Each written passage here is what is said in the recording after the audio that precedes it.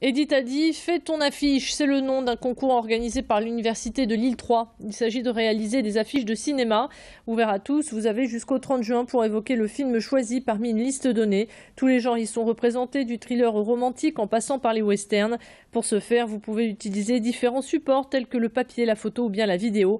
Début juillet, une vingtaine d'affiches seront sélectionnées par un jury de professionnels de l'image. Elles seront ensuite retenues pour un vernissage au kino euh, Kino Ciné de Lille 3, un concours qui s'inscrit dans le cadre des 40 ans de l'Université Lille 3 et du Kino Ciné. Les précisions au micro de Pauline Lermite. On s'est dit, bah voilà, ça fait 40 euh, ans à peu près que le cinéma existe. le Kino de Ciné est devenu cinéma en 1989 officiellement, avant c'était un ciné-club.